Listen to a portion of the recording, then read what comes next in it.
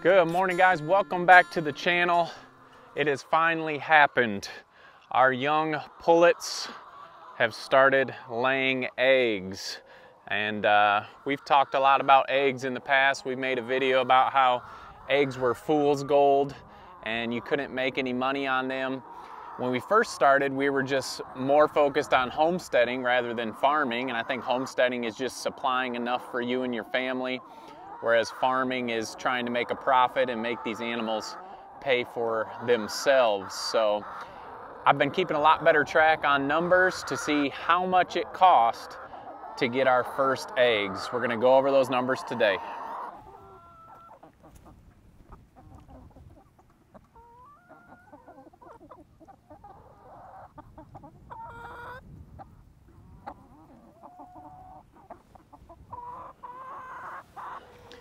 All right, guys, I'm gonna pull up my trusty bucket. Um, I've got my numbers wrote down so I don't forget anything.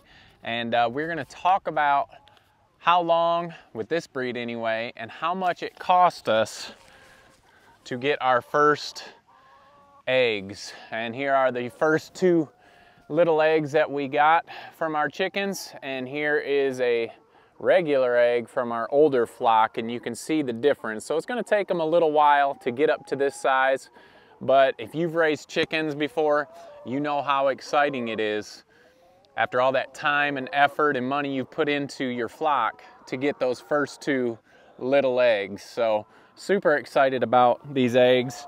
Um, like I said, if you're a chicken person, you understand the excitement that I'm talking about. And I'm actually kind of surprised these chickens are coming close and hanging out with us today. But we talked in the past about that video about how I didn't think we could make money off eggs. And I'm not sure I totally agree with that anymore after running our numbers. Um, so we're gonna go over those numbers. If you can hear me over the wind, hopefully you can. Um, we're gonna go over the numbers and figure out how much it cost us to get our first egg. So we started back on June 18th. We purchased 60 brown sex links from Valley Farms Hatchery. Um, they came in all healthy and all alive. They actually sent us 66 and the total for the 66 chickens was $205. Um, with those chickens in the brooder, we needed shavings.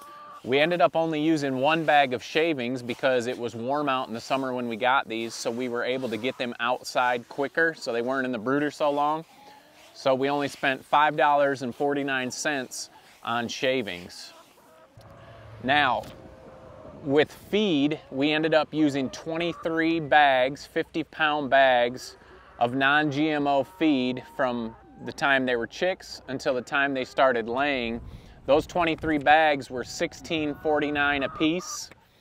And so that brought us up to a total of $379.27 in feed costs to get our first eggs.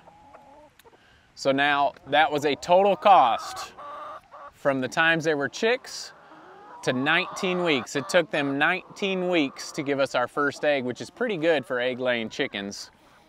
Um, it took us, it was a total of $589.76 to get our first egg from these chickens on the farm.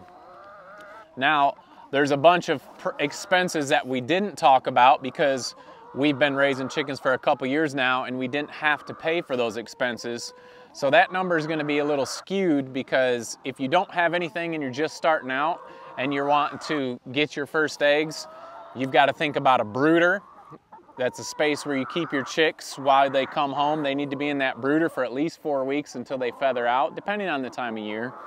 You got to think about your feeders and your waterers and your heat lamps to keep them warm in the brooder.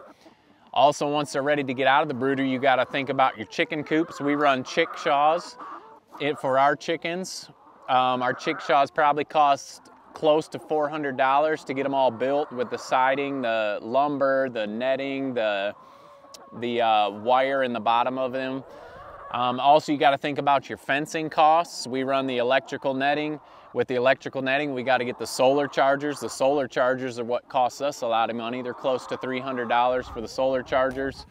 And also, once you get those first eggs, you need nest boxes. We run the hen gear nest boxes in our coops and we absolutely love them. They're a little more expensive, but we're getting clean eggs all the time and they're all collecting in the same spot, which makes our egg collection a lot easier. So those are some extra expenses that you need to think about. When you're thinking about getting chickens, like I said, we didn't have those because we already had those set up. So I guess the farther along in your chickens chicken life that you have or your farm life, the less expenses you will have. So for us, our total cost was $589.76 to get our first eggs. Now we're gonna go over some numbers trying to figure out how long is it gonna take us to actually pay those chickens off. And that's not including all those other items that I just listed on there. We sell our eggs for $5 a dozen. That means we would need to sell 117.9 dozen, or we'll just say 118 dozen eggs to have those chickens pay themselves off with food and the cost of the chickens. Well, 118 dozen is 1,416 eggs. Let's just say, like I said, we have around 60 hens. Say we're getting about 40 a day when they're at peak, peak production. That would take us around 36 days to get the 1,416 eggs in order to pay those off. So right around just about a month and a half. Now we've only got one to two eggs a day for the last three days, so obviously that's gonna take us a little bit longer and we've also got extra feed costs going into them as they start to lay and they're eating more to lay those eggs. So just a number there to get those paid off about a month and a half. And also we got to find the customers to buy that many eggs. So is it worth it? Well, for us, we think it's worth it just because we love the farm fresh eggs. I think these chickens will pay for themselves. We only did chickens last year for the first time. We had around 160 laying hens and I didn't run numbers just because we wanted the eggs and we didn't care, but we felt like we, they weren't paying themselves off, especially as you go through the fall and winter months, they slow down because the lack of daylight. And so you're just feeding the chickens and you're not getting all the eggs that you need. These chickens are being very friendly today. So what do you guys think? Put down in the comments, do you think that chickens are worth it? Obviously we think they're worth it just because we know we're getting fresh eggs and delicious eggs and the best eggs money can buy.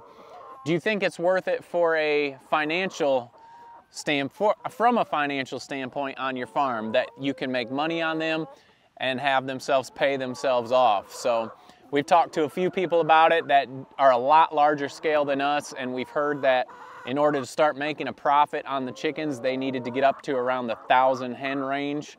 We are definitely not gonna have a thousand hens, but I'm starting to think that maybe they would pay for themselves. But you also have to think about your time. We move these chickens every day. We pick up all the netting and move them about once or twice a week. Um, so there's your time invested in there as well. But what do you guys think down in the comments? Do you think that chickens can, egg laying chickens can be a profitable, profitable enterprise on your farm? Put down in the comments what you think. I'm thinking maybe, but I don't know if I'm gonna grow my chickens any more than the 60 we have. Uh, we can't go in today, this Saturday, and not talk about pigs. Here is Josie, and she is getting ready to go back in. How you doing, Jose?